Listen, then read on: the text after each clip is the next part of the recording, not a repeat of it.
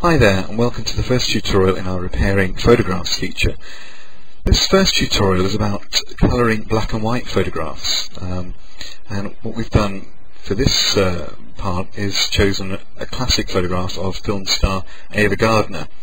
Um, now while we're big fans of black and white photography here at uh, Digital Photography Effects the effect that you can get from adding colour to uh, a black and white shot such as this can really transform the picture and inject a bit of uh, atmosphere and also some nostalgia into the shot as well.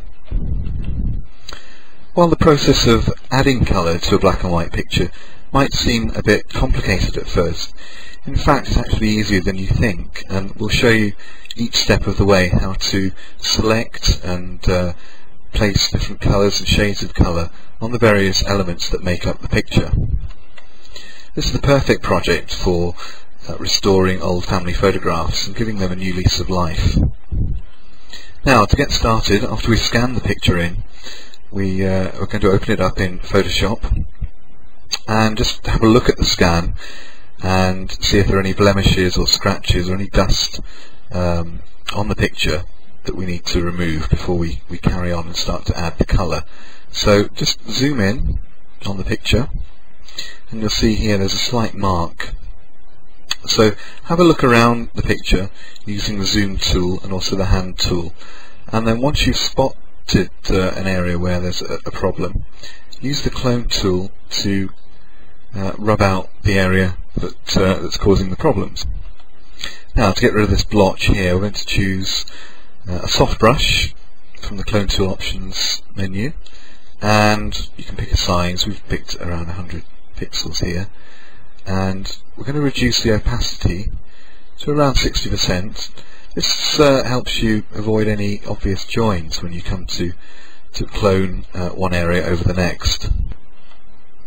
So to start cloning then, click the Alt key on your keyboard to select the sample point and then just dab gently over the offending area like so to remove mark. Clicking on the aligned box at the top here allows the clone tool to follow your brush strokes as you move up over the, the area so this helps to keep the consistency of the pattern in the area that you're cloning out. Now once you have uh, cleaned up the image you're ready to start making your first selection. Now as I said earlier the process of adding colour to this picture is about making selections of all the uh, various elements making up the shot such as the skin, the hair on the model, her mouth, eyebrows, eyes and so on. And you can also add colour to the background here and also to the foreground and objects such as the uh, jewellery uh, her ring and her bracelet and her pen. Um, some areas will remain black um, and you can add colour to, to certain other areas as well uh, later on but we'll keep some areas black that will work uh, perfectly well uh, while the rest of the picture is transformed into colour. Now when you're ready to make your selection it's a good idea to zoom in to the area that you're working on.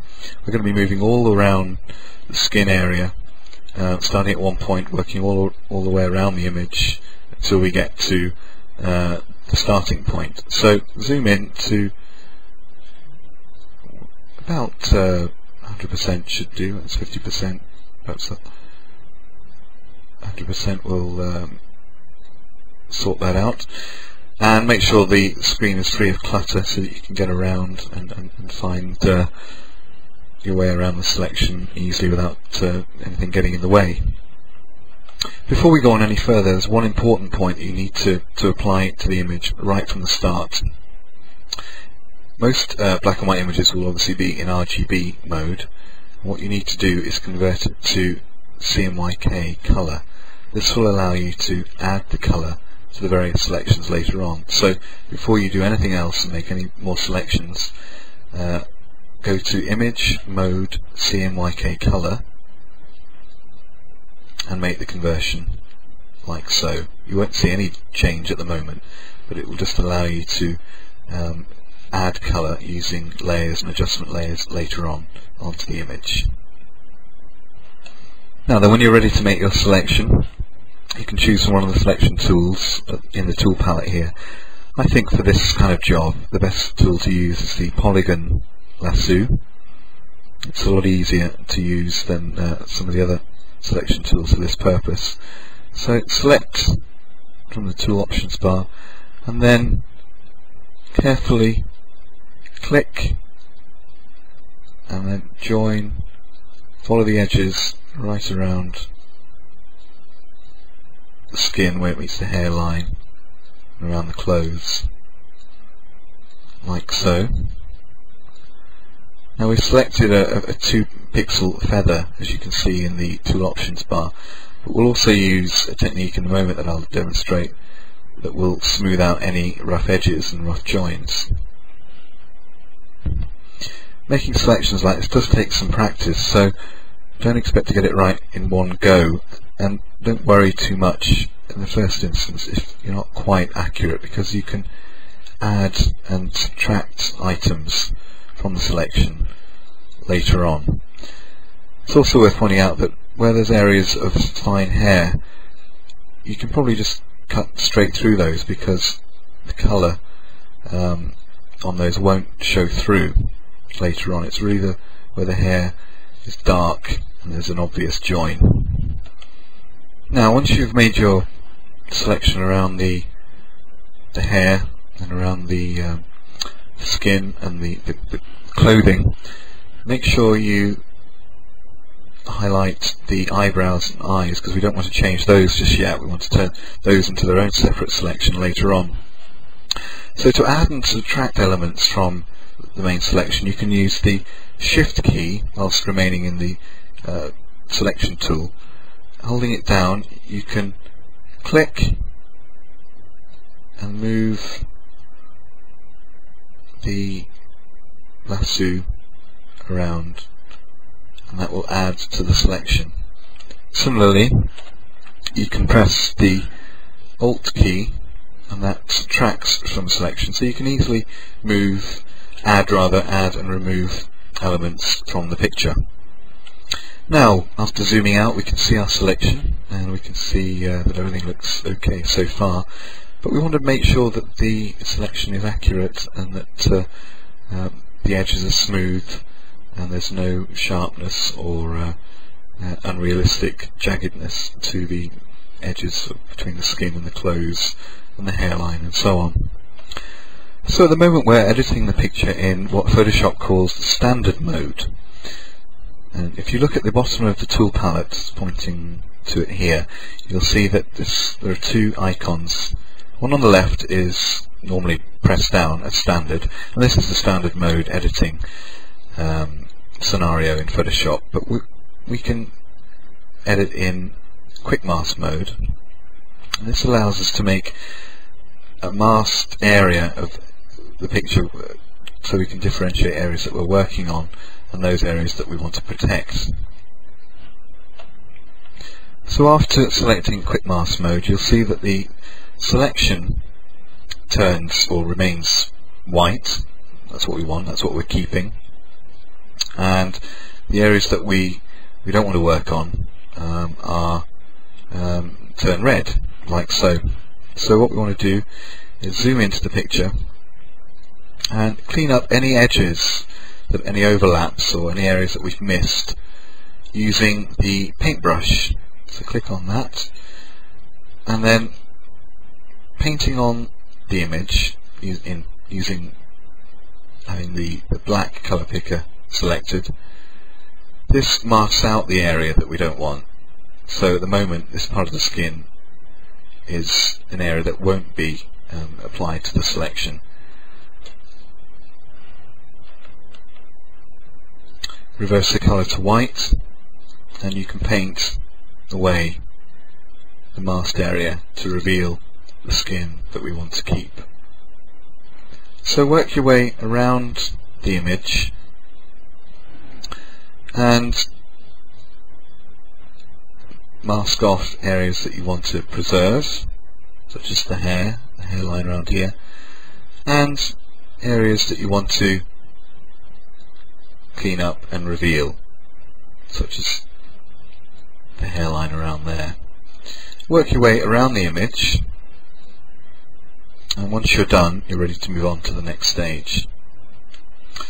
Right, the next stage is to make sure that there aren't any jagged or rough edges so that each selection blends into the next naturally. So to do this, select Filter, Blur, and pick Gaussian Blur. Now you're still within the quick mask mode here.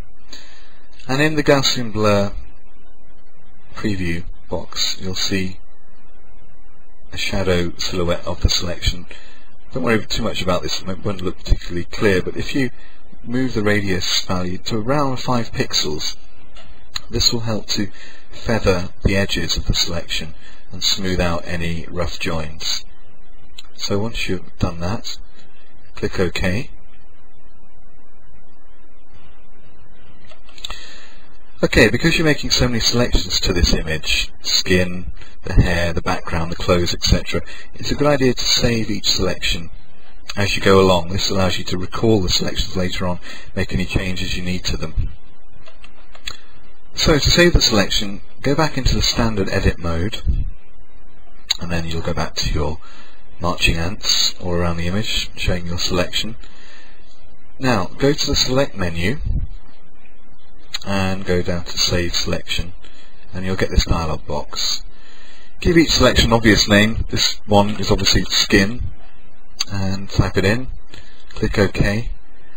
And now as you build up your selections each time you need to go back and change them you can just go back to select, load selection and there it is for you to call up and each time you need it you can just go to that menu and it will bring the selection uh, it will make it active again and it will allow you to make changes to extend the selection or subtract from it using the tools we showed you earlier on. Okay, you can start to add some colour now. Click on the background layer in the Layers palette.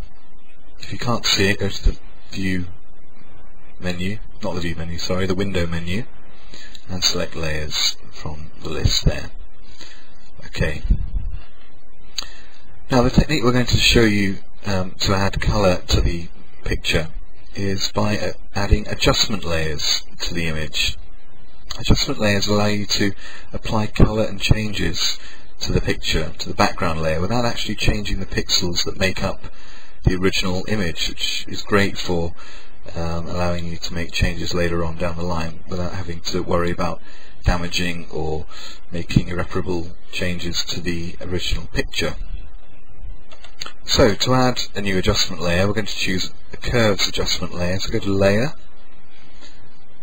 New Adjustment Layer, and then from the list here you'll see lots of different types of adjustment layer that you can use. Levels, curves, color, brightness and contrast. Well the curves one allows us to um, get a lot of control over the, the weight and the tone of the colors uh, that we want to apply to the picture. So we're going to go with curves adjustment layers. So select that and give it a name. So we'll call this skin base. What we'll do here is start off by building up the skin um, colour and tone just as painters do when they are painting a portrait to build a base on which to uh, add the colour and it gives the, the picture a lot more tone and strength and depth later on. So after adding the name, click on this button here. This allows you to uh, create a mask of the other layers so that you can add uh, um, colour to those later on. Once you've done that, click OK. So with the curves dialog box on display, you can see that because you've converted the picture to CMYK 4 channels, um, you can select channels individually and apply colour and adjust the tone for each one. So this will take a bit of experimentation but what you want to do is build up a whole series of adjustment layers to the skin to, to build up the tone and to remove any trace of any black pixels coming through from the black and white image. You want to get the colour depth uh, all the way through to the uh, bottom layer. Okay, so just an example, we select cyan, and you can move, clicking on the graph here, you can move the graph like so, and you'll see instantly that you're starting to get some colours into the picture. And by mixing the colours, you can vary the tone and shade. Now you can see instantly what a difference just a couple of small edits make to the picture. So build up your selection as you go along and add two or three um, skin bases to get that uh, um, vibrant and realistic looking skin tone and colour to your picture uh, and it'll help to remove any background uh, trace of uh, the, the, black and white pixels seeping through from the background image. Once you've selected the colours for each adjustment layer you can then go back to the CMYK setting at the top and adjust the brightness of the, uh, the image like so.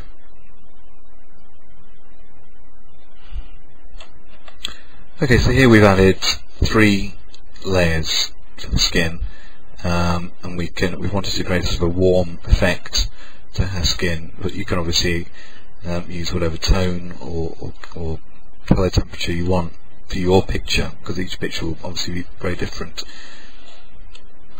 Now the rest of the project is really a, sort of a repeat of what we've done uh, with the skin. It's selecting the other elements, and we'll move on to the background curtain here in a moment, and then um, creating a quick mask and cleaning up the selection and then adding an adjustment layer to that selection um, and then applying the colour. So to get started we'll go back to the background layer make sure that's live and click on the lasso tool again so when you're moving the lasso tool around tricky selections such as the hair make sure there's no background detail that you've missed because uh, that will show up and you've got a, a, black and white edge to the image which, which you don't want at all. So just to remind you how you can increase the selection area, click on the lasso tool, make sure it's live, and then click on the shift tool shift key rather on the keyboard and click on part of the selection line adjacent to where you want to extend the selection area. And once you've clicked you can let go of the mouse and then draw your line accordingly. And you can let go now of the um, shift key on the keyboard. It's still within the um, adding to selection mode if you like. So you can just click add uh, your selection and then join up the selection to the original starting point here. Double click and you'll see that the line moves around the edge like so. Okay just a quick recap then. With our selection made we go into the quick mask mode and then the red areas are the areas that we're protecting. We don't want to change these just now we want to work on the, the black and white area here, which is the background curtains. This is our selection area. Now we can add and subtract anything we've missed to this um, area using the paintbrush in the quick mask mode. Paint in black to add to the mask, like so. So this is rubbing out some of the selection. Alternatively, you can paint in white and this extends the selection like so. So when you're rubbing away the red that's extending the selection. So it's useful to zoom right up and just make some fine-tune uh, edits to this so that uh, the edges are nice and um, even and accurate, accurate and there's no overlapping or, or stray uh, strands of hair or details from, from other areas. There are going to be selections later on. Okay, so with your quick mask made and, and everything in uh, uh, good order, go back into the standard edit mode. Actually, before you do that, remember that each time you make a selection, um, before you come out of the quick mask mode, you want to apply that Gaussian blur filter to the selection again. Again, this smooths out any joins and any edges and makes the selection look more natural. So once you've done that, you can go back into the standard edit mode and there's your selection already for the next stage. Okay, building up your selections one at a time. Save each selection and give it a name. And there you have that. You can recall that the background later now and make any additional changes you want to it. Now again, just as you did with the skin, and you've got your selection made, make sure you're in the background layer at the foot of the layers palette, and go and add another curves adjustment layer, like so. And give it a, an obvious name, such as background. Click on that, and you'll get the curves dialog box appearing again and you, then just as you did with the skin you can go through each channel and select the colour that you want. It's worth noting that you don't want to choose a background colour that's going to sort of be too garish or upstage the main uh, subject of the picture and for this we've used a, a sort of pastel shade trying to get the, the golden effect of perhaps a, theatrical curtain, something like that. The important thing that, we tried to do was to make sure that the, that the background colours didn't interfere with the actual overall impact of the, uh, of the picture. So we've ended up with this kind of look which fits in well to the subject that we've got here. Now if you wanted to change any of the shadows, you can see that some shadows around the curtain here. You can choose the black channel and move that around to brighten up any low lights or in fact increase any shadow areas. It's worth noting that if you overdo this you'll end up with some distortion so if you are going to mess about with shadows zoom in close to the area so that you can make sure that there's no um, colour deterioration in any um, shadow areas that you that you apply. Now I've jumped ahead a bit here, but as you can see, we've built up a whole range of selections that comprise the image. The skin, the curtain, hair, lips, eyebrows, and so on. We're going to work on the eyes now, so um, just going to call up the eye selection we've divided the eyes into the whites of the eyes and the pupils but we'll start with the, the whites of the eyes and we'll call it that selection like, like so just zoom in a little bit here now again making an adjustment layer a curves adjustment layer for the eyes we can control the colour and the tone now obviously the whites of the eyes we don't want to have any colour necessarily, but we might want to brighten them up a little bit. So, while we don't need to go into the individual channels, we'll stay in the CMYK mix channel setting and then use the, the graph to lift the whites, brighten the image, or darken the image. We don't want to overdo it because if the, the eyes are too bright, it just won't look realistic. So we want a nice subtle lift that doesn't overcook the effect too much. Now again, we're going to do the same by selecting pupils, or the iris rather of the eye. Doesn't matter if you've got the pupil in there because that's obviously black and that's not going to really change. You've got black and white there, the reflection of the eye, that's okay.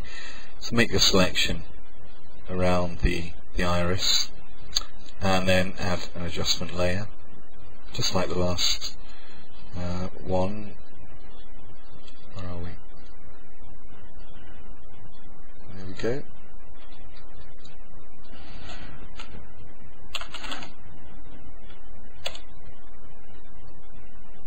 call it iris or eye color click on that. And then choose your color now again select the different channels to apply the color and you'll start to see color come through So you can select the colours like so for the eyes. It's always a good idea to get the colours right according to, to the model, to, if you know what colour the model's eyes were, that, that does help. Um, I'm going to choose a nice soft blue for this particular picture. So the idea with colouring the eyes is not to to overdo it. You see, we can really make them look extremely unrealistic.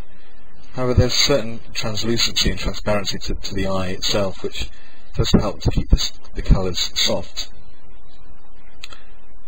And you can get some very pleasing, very natural effects. Again, you don't want to overpower the colour so that it doesn't look realistic or, or, or stand out. Um, but you can certainly soften it down going back into the CMYK channel and lightening it up a bit or, or darkening like so.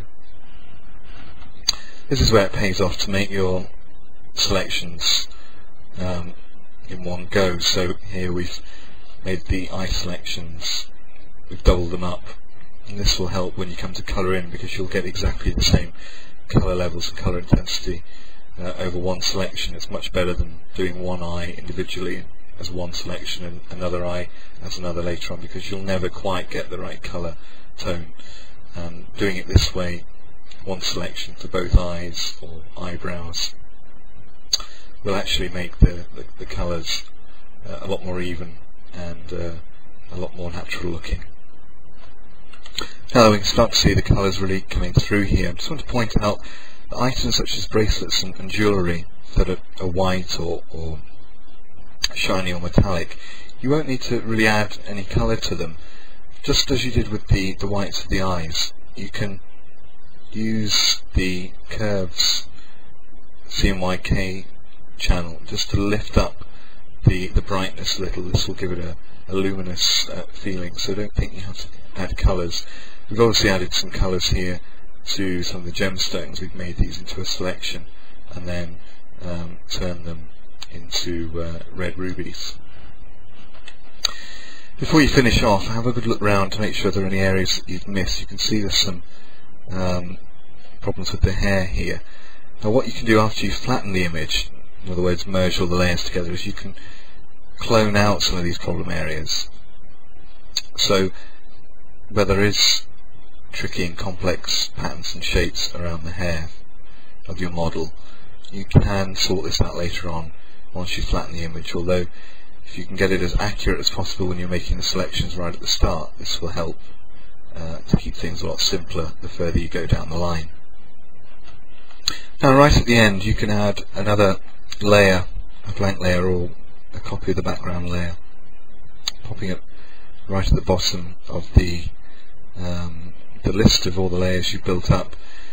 Here you can paint on any highlights or any blusher on the model, or any highlights on, around the lips, using the uh, the paintbrush and the, and the color palette um, to uh, to add these effects.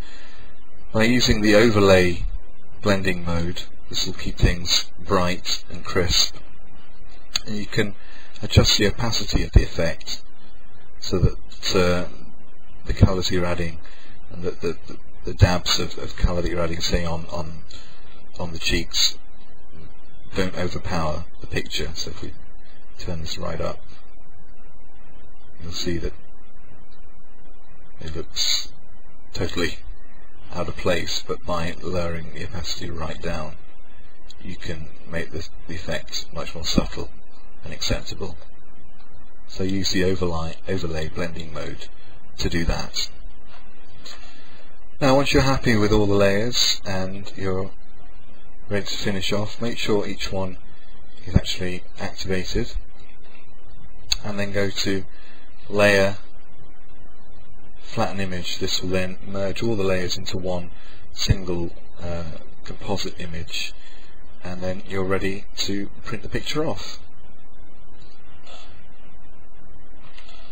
Now with all the layers merged into one it's a lot easier to go in and make any last minute fixes uh, cloning out any stray uh, selections or any problem color areas that you want to get rid of.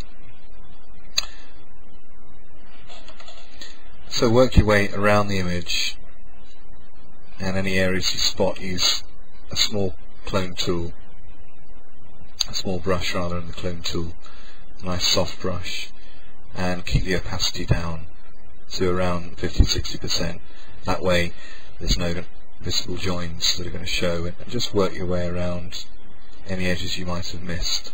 And this will help to fine-tune the picture and make it a lot more realistic. Now once you've done that, you're more or less ready to go and output the picture. So really, recapping, it's all about making selections and adding adjustment layers to the image and to the selections to add your colour. It's uh, quite a repetitive task and it does take some practice to get the selections right, particularly around areas such as hair and around tricky edges around clothing and where the, the clothing meets skin and so on. But with practice you, you can uh, create some very pleasing results and uh, really transform a black and white picture into a into a, a colour um, photograph that uh, that really looks very very striking.